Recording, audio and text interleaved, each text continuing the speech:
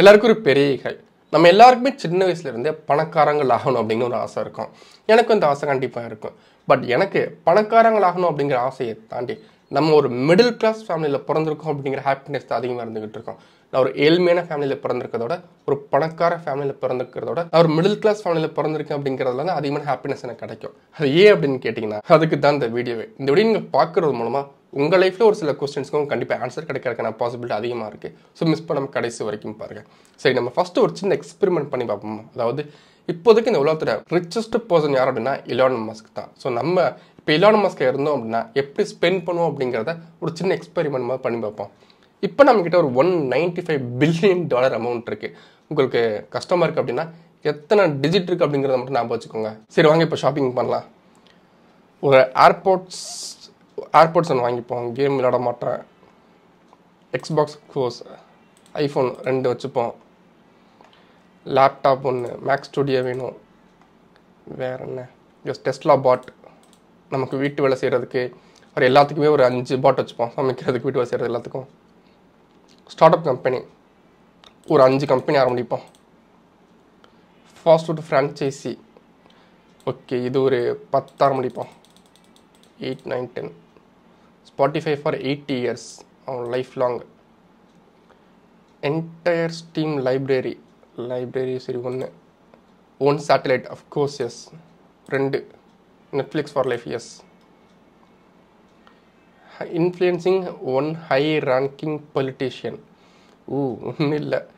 ரெண்டு பேர் இன்ஃப்ளூயன்ஸ் பண்ணுவோம். அது யார் அப்படிங்கிறது நீ கமெண்ட்டில் சொல்லுங்கள் private concert with any super star போக மாட்டேன்.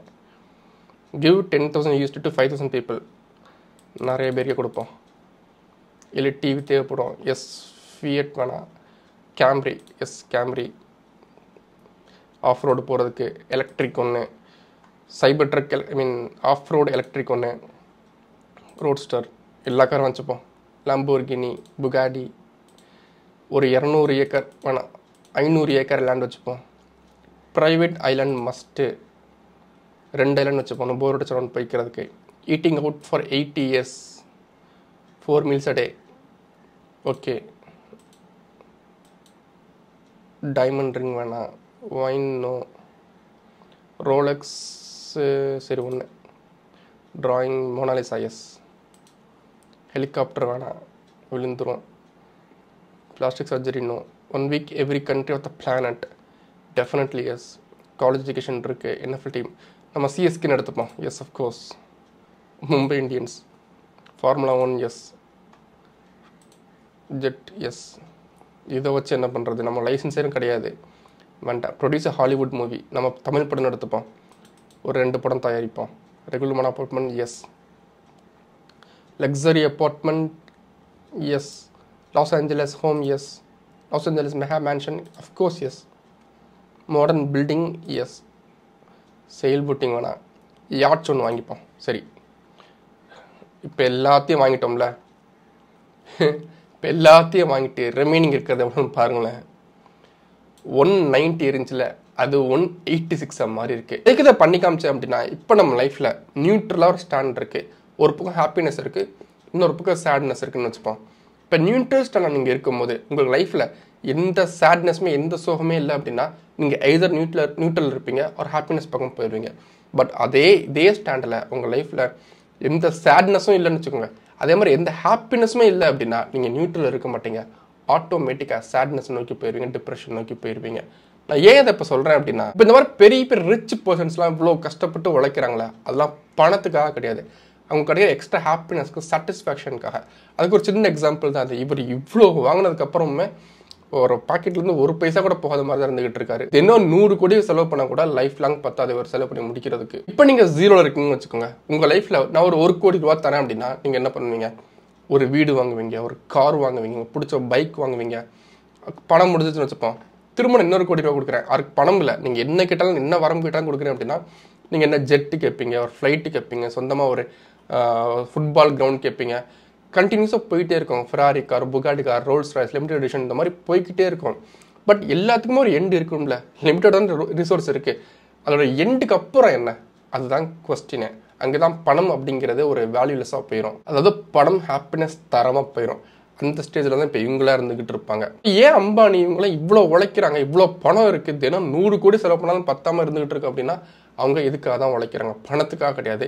கொஞ்சம் ஹாப்பினஸ்க்காக செல்ஃப் சாட்டிஸ்ஃபேக்ஷனுக்காக அவங்களுக்கு இன்னொரு சின்ன டேட்டா ஒன்று காட்டுறேன். இப்போ வேர்ல்டு ரிச்சஸ்ட் பர்சன் நம்ம லிஸ்ட் எடுத்தோம் அப்படின்னா ஃபர்ஸ்ட் ஒன் இலான் மஸ்க் ஒருவர். Elon Musk is a divorced அவர் ஃபேமிலியில் எக்கச்சக்கம் ப்ராப்ளம் போயிட்டு இருக்கு. செகண்ட் ஜெஃப் பீசோஸ் அவர் made divorced third Bernard Arnault அவர் made divorced fourth Mark Zuckerberg அதுக்கடுத்து ஃபிஃப்த்து பில்கேட்ஸ் அவர் made divorced sixth Larry Ellison அவர் made divorced அடுத்து வேறு யார் இருக்கா? டென்த்து பேர் செர்ஜி பிரின் இருக்கார்ல அவருமே டிவோர்ஸ்டு தான். நம்ம இந்தியா எடுத்துக்கோங்க முகேஷ் அம்பானிக்கும் அனில் அம்பானிக்கும் எவ்வளோ பரம்பரை பிரச்சனை போயிட்டுருக்கு. அவங்கள விடுங்க எத்தனை செலிபிரிட்டிஸ் பார்த்தீங்கன்னா டிவோர்ஸ் பண்ணிட்டு இருக்காங்க நம்ம கண்முடியை பார்த்துக்கிட்டு இருக்கோம் தமிழ்நாட்டிலேயே. எவ்வளோ பேர் ரிச் பீப்புள்ஸ்லாம் சூசைட் பண்ணி நம்ம பார்த்துருப்போம். ஸோ இதுக்கெல்லாம் காரணம் என்ன அப்படின்னா பணம் அப்படிங்கிறது எல்லாத்துக்கும் சாட்டிஸ்ஃபேக்ஷன் கொடுத்துரும் எல்லாத்துக்கும் ஹாப்பினஸ் கொடுத்துரும் போதும் அப்படின்னா இதுக்கெல்லாம் என்ன அர்த்தம்? ஸோ இதுக்கெல்லாம் ஒரு சிம்பிளான ரீசன் என்ன அப்படின்னா நான் முதல்ல உங்ககிட்ட சொன்னேன்ல நான் மிடில் கிளாஸில் பிறந்ததுக்கு ரொம்ப சந்தோஷப்படுறேன். ஏன் அப்படின்னா நான் ஒரு பணக்கார ஃபேமிலியில் பிறந்திருக்கேன் அப்படின்னா நான் பிறக்கும் போது ஒரு ஃபியூ இயர்ஸில் எனக்கு எல்லா ஹாப்பினஸுமே கிடச்சிரும். எல்லாமே எனக்கு கேட்குற எல்லாமே கிடச்சிரும். அதுக்கப்புறம் அப்படிங்கிற ஒரு கொஸ்டின் வர ஆரம்பிச்சிடும் அதுக்கப்புறம் எதுவுமே இல்லை. ஃபினிஷ்ட் அப்படிங்கும் போது ஒரு வாய்டு ஒன்று ஆரம்பிச்சிடும் நான் சொன்ன லிட்டரில் அதுக்கப்புறம் ஹாப்பினஸ் எதுவுமே பெருசு இல்லைன்னா அப்படின்னா கூட நமக்கு டிப்ரெஷன் சேட்னஸ் வரும் அப்படின்னு. அது நடக்க ஸ்டார்ட் ஆயிரும். பட் இப்போ நான் மிடில் கிளாஸ் இருக்கேன் அப்படின்னா இப்போ ஒரு கார் வாங்குறேன் அப்படின்னா எனக்கு அது ஹாப்பிஸ்ட் டே இன் த வேர்ல்டாக இருக்கும். அடுத்த வருஷம் நான் ஒரு வீடு வாங்குறேன் அப்படின்னா அது ஹாப்பியஸ்ட் டே இந்த வேர்ல்டாக இருக்கும். அதுக்கப்புறம் நான் கொஞ்சம் கொஞ்சமாக டெவலப் ஆக டெவலப் ஆக ஒவ்வொரு நாள் ஒவ்வொரு வருஷமும் எனக்கு ஹாப்பியஸ்ட் டே ஒன்று வந்துகிட்டே இருக்கும். ஏதாவது ஒன்று புதுசாக நான் வாங்கிட்டே இருப்பேன். ஒவ்வொரு ஸ்டேஜும் மேலே போயிட்டே இருப்பேன். ஒவ்வொரு ஸ்டேஜும் மேலே போக மேலே போகும் செல்ஃப் சாட்டிஸ்ஃபேக்ஷன் கிடைக்கும். எனக்கு ஹாப்பினஸ் நிறைய கிடச்சிட்டே இருக்கும். என் லைஃப்பில் ஒரு ஒரு வருஷத்தில் ஒரு ஒரு கோடி ஹாப்பினஸ் கிடைக்கிறதுக்கான மூடு எனக்கு இருக்குது அப்படின்னா ரிச் ரேட்ஸ்க்கெலாம் பார்த்தீங்க அப்படின்னா அது ஃபியூ ஹண்ட்ரட்ஸ் தான் இருக்கும். அதுக்காக தான் எவ்வளோ கஷ்டப்படுறாங்களும் கூட. இதெல்லாம் பார்த்தீங்கன்னா ஜஸ்ட் நான் என்னோட ஒப்பீனியன் நான் சொல்ல இதெல்லாம் பார்த்தீங்கன்னா இவங்களே பேசினவங்க. இவ்வளோ பணம் இருந்தாலும் எனக்கு ஹாப்பினஸ்க்கு ஒரு மூடு இல்லை அப்படின்னு அவங்களே ஓப்பனாக சொல்லியிருக்காங்க. இன்ஃபேக்ட் நிறைய பேர் டிப்ரெஷனில் போய் வேறு வழியெல்லாம் சூசைடும் பண்ணியிருக்காங்க. இன்ஃபேக்ட் அமெரிக்காவில் கிட்டத்தட்ட forty nine percent of billions பார்த்தீங்க அப்படின்னா டிவோர்ஸ்டு ஏன் இவ்வளோ கஷ்டப்பட்டு மீன் பண்ணுறேன் அப்படின்னா ஜஸ்ட் பணம் இருந்தால் எல்லாத்துக்கும் சொல்யூஷன் கிடச்சிரும். பணக்காரானா போதும் அப்படின்னு இல்லாமல் அந்த ப்ராசஸ் என்ஜாய் பண்ணுங்கள் கொஞ்சம் கொஞ்சமாக மேலே போகிறது என்ஜாய் பண்ணுங்கள் நம்ம மேலே போனால் மட்டும் போதும். அது பெரிய ஸ்கேலாக இருக்கணும்னு அவசியம் இல்லை. கொஞ்சம் கொஞ்சமாக மேலே போகணும். அதே ஸ்டேஜில் தான் இருக்கக்கூடாது. So doesn't matter what stage you are நீங்கள் எந்த ஸ்டேஜில் இருந்தாலுமே அடுத்த நாள் அடுத்த வருஷம் அதுக்கு அடுத்த ஸ்டேஜில் இருந்தீங்க அப்படின்னா அதுதான் உங்கள் லைஃபோட பிக்கஸ்ட் அச்சீவ்மெண்ட் நீங்கள் கொஞ்சம் கொஞ்சமாக மேலே போக மேலே போக அது உங்கள் லைஃப் ஒரு மிகப்பெரிய ஹியூமங்கஸ் சேஞ்ச் கிரியேட் பண்ணும். உங்களுக்கு எக்கச்சமான ஹாப்பினஸ் கிடைக்கும். ஸோ இந்த ப்ராசஸை என்ஜாய் பண்ணுங்கள் பணக்காரன் ஆகணும்.